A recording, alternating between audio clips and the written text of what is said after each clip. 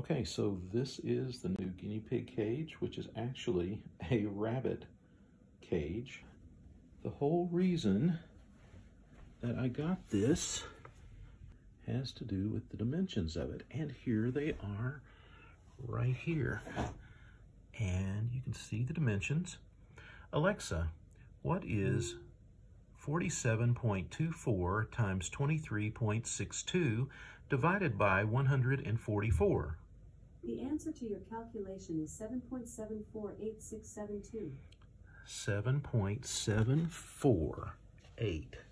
So 7 and 3 quarters square feet. Look at the chart online is bigger than the minimum requirement. It's not as big as the optimal, but the other nice thing about this is that you can get a wire extension that is sold separately.